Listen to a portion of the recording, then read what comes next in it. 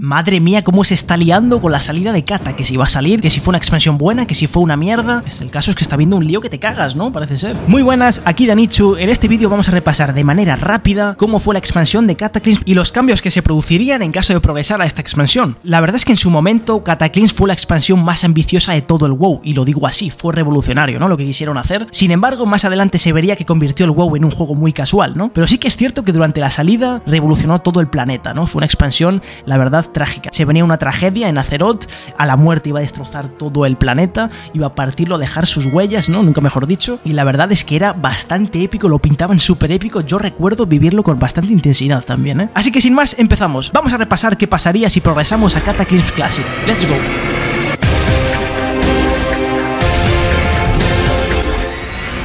Pasaríamos de nivel 80 a nivel 85. Aparecen los Wargens y los Goblins. Los Goblins fueron la primera raza pequeña, de pequeña estatura, quiero decir, que aparecieron en la Horda, ya que nunca tuvimos personajes así tan bajitos. Imagino que para equilibrar un poco la balanza, ¿no? Porque, joder, en la Alianza había enanos y gnomos. En mi opinión, tampoco es que fueran dos razas espectaculares en cuanto a raciales, tampoco me gustaron mucho, ¿no? Siguiente punto, el leveo se convirtió en algo más casual, más esporádico, más de querer quitárselo rápido de encima. Ya no era para nada una tarea divertida, se convirtió en una carrera levear, se desbloquearon nuevas combinaciones de raza clase, aparecieron los gnomos sacerdotes, los elfos de la noche y enanos magos, humanos cazadores y enanos chamanes, también elfos de sangre guerreros, trolls druidas, tauren sacerdotes y paladines, orcos magos y no muertos cazadores. Aquí también se empezó a ir un poco de las manos, ¿no? En mi caso, lo primero que me creé fue un elfo de sangre guerrero, tenía muchas ganas, llamaba al elfo de sangre, la elfa de sangre para ser exactos, y me creé un guerrero nada más salir cataclism. Pero sí que es cierto que se empezó un poquito a poner turbia la cosa, ¿no? Taurens paladines es como lol eso. Volar en todo el mundo, esto es una cosa que cambió WoW, obviamente la gente se motivó muchísimo, pero es cierto que deterioró el WoW, ¿no? El farmeo de profesiones empezó a perder su valor, ya que todo era más accesible, mucho más fácil con la voladora. El PvP en el mundo también cambió, ya que podíamos escapar literalmente de una persecución de manera rápida. En caso de ser un elfo de la noche, nos tirábamos la racial,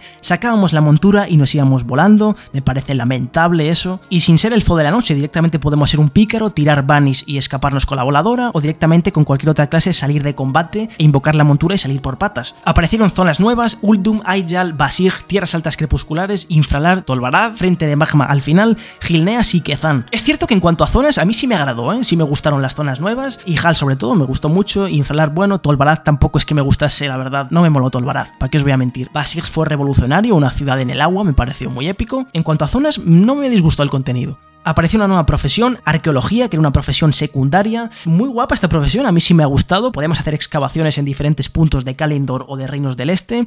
Podíamos ir desbloqueando ciertas cosas como monturas, podíamos crear ítems, podíamos descubrir recetas nuevas. De hecho, me parece que me puse a leer arqueología, la llevé al máximo, si no recuerdo mal. Es una profesión que me ha gustado durante muchas expansiones. Creo que ahora ha pegado un cambio en el retail otra vez muy brusco. Me duró mucho esa profesión, ¿no? Aparecieron mazmorras nuevas como Green Battle, Cámara de los Orígenes, Pozo de la Eternidad, Hora del Crepúsculo, entre otras se produjeron modificaciones en el mundo, se fragmentaron los baldíos, aparecieron campamentos, quests nuevas. Al principio a mí todo esto sí me impactó mucho, tenía ganas de visitar el sitio y me daba como cierto respeto, tío, pisar ciertas zonas impregnadas con el fuego y el dolor de la muerte, ¿no? Me daba cierto respeto. Mil agujas se encharcó completamente, en Loch Modan me parece que hubo un cambio también. Es cierto que en Desolace también hubo un cambio positivo, empezó a florecer cierta vida, apareció una selva extraña, como un bosque o algo, gracias, porque Desolace era una puta mierda. Mira por dónde que justo en Desolace, ¿no? El peor mapa de la historia de WoW. Un mapa lamentable, horrible. Yo sabéis que lo odio, no me gusta nada jugar en Desolace. Me parece un rollo patatero, ¿no? Sinceramente. Así que entiendo que metieran. Aprovecharon los cabrones, ¿eh? Aprovecharon el boom de la muerte para cambiar los mapas que eran una mierda. Bueno, es lo que tienen que hacer. Alzara también cambió. Empezaron a construir ciertas fortalezas con arquitectura Goblin. Eh, me parece que también hubo un guiño en el mapa. Si giramos el mapa 90 grados aparece el símbolo de la horda. Hubo cambios en las capitales. Las capitales cambiaron de una manera radical. También fue muy épico esto, me acuerdo, claro. En Orgrimmar por lo menos sí se necesitaba un cambio. En mi opinión así lo sentí, ¿no? Se rediseñaron las dos capitales, toda Ventormenta, toda Orgrimmar, más grandes además. Y bueno, fue un cambio que a mí sí me agradó. Se produjeron cambios en la interfaz, apareció el cuadro de nivel con las habilidades disponibles cada vez que subíamos de nivel. Se rediseñó todo el panel del personaje donde aparecían las estadísticas, que luego comentaremos esto. Aparecieron nuevas animaciones y encantamientos con soporte para DirectX 11 y modo OpenGL, que hicieron que se viera ciertamente mejor el juego. Yo lo noté mucho también en el combate Apareció un nuevo motor de renderización en las zonas acuáticas y mejoró mucho también cómo se veía el agua. Se aplicó la reducción de talentos, simplificando de 71 puntos a 41. Solamente teníamos acceso a un único árbol durante los primeros 31 puntos, así que durante los primeros niveles nos obligaban a jugar una especialización en concreto, ¿no? Solamente podemos tirar por un lado. Luego sí que es cierto que más adelante podemos ir metiendo puntos de diferentes especializaciones. El poder de ataque y el poder de hechizo desaparecieron, se incluyeron en la fuerza, en el intelecto y en la agilidad, que va ligado a diferentes clases. La fuerza, por ejemplo, en clases melee como el guerrero, el paladín, el intelecto también en el paladín, mago, sacerdote y la agilidad en pícaros, druidas. La regeneración de maná también desapareció, se fundió con el espíritu. La penetración de armadura de bloqueo y de defensa desaparecieron por completo. Apareció la maestría, una estadística nueva que sí me gustó en lo personal, valía para mucho. Apareció el reforjador de ítems, una máquina extraña que te permitía cambiar ciertas stats. La habilidad con armas ya no existe, esto fue un factor, esto cambió también mucho el juego, a pesar de que tampoco era muy complicado levear ciertas armas, sí se notaba, sí sí se notaba eso de joder, tío, qué coñazo tener que levear esta arma para empezar a pegar. Eso desapareció, ya todos sabemos pegar con todas las armas, tú literalmente naces, acaba de nacer un elfo y ya sabe cómo manejar un arco, una ballesta, sabe cómo manejar un hacha de dos manos, ¿no? Sabe literalmente hacer todo ese chavalín, ¿no? Bueno, vale.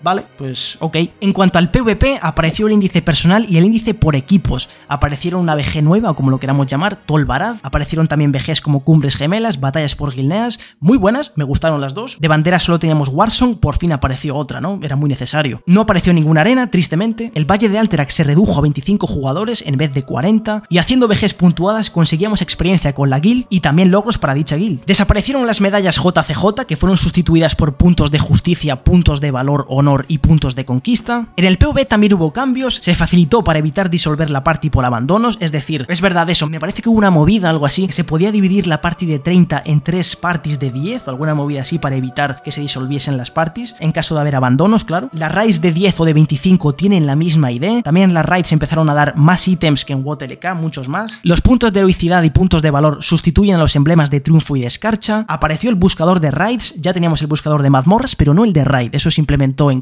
Y la verdad es que le quitó más inversión aún al tema de raid, al tema de hostia, al tema de joder, vamos a armar party para ir a una banda y tal, ir caminando o volando con un grupo de 40 o 30 personas directamente hacia las mismísimas puertas, eso era muy épico. Apareció el sistema de progresión de hermandades, cambió la interfaz de la guild, claro, con esto me refiero a que aparecieron ciertos logros, los cuales nos aumentaban la reputación, la experiencia, el honor, el oro, la velocidad incluso de movimiento, tío, qué locura. Se redujo el cooldown de la piedra de hogar, apareció la resurrección en masa para revivir a aliados, para revivir a aliados siendo cualquier clase, tío, que es una barbaridad esto. Apareció el correo rápido. Sabemos que en WTLK no se mandan de manera instantánea. Aumentan los minerales al picar y las hierbas también al recolectar. Aparece la banca móvil, un aparato en el que podemos directamente invocar nuestro propio banco. Los objetos pierden menos durabilidad. Aparece una habilidad llamada con grupo viajarás que invoca toda la party o a toda la raid a tu ubicación. ¿Qué pollas es esto? Con un CD solo de dos horas. Para mí tenía que tener por lo menos un CD de 20 días, ¿no? Nunca, nunca pude disfrutar este hechizo. No, no recuerdo lo que te pedían, imagino que mucho, pero el caso es que existía y esto facilitaba mucho el tema de las invasiones, ya que puedes invocar a toda la gente en las mismísimas puertas del lugar que querías invadir. Y en cuanto a las profesiones, eh, ciertas recetas empezaron a darnos varios puntos de habilidad. Ya en vez de darnos un punto, podemos incluso subir de 3 en 3. Y como datos extra, leo textualmente, ¿no? En Cataclysm bajaron los suscriptores. A pesar de su éxito, WoW vio una disminución gradual de los suscriptores. Después del lanzamiento de Cataclysm, los niveles de suscriptores alcanzaron un máximo de 14 millones de suscriptores, pero pronto bajó a 11,4 millones y a principios de noviembre ya tenían menos de 10,3 millones de usuarios. La verdad es que empezó justamente el declive de WoW. Es cierto que cuando salió la expansión, no os voy a mentir, fue espectacular. Salió, yo creo que fue uno de los launch más épicos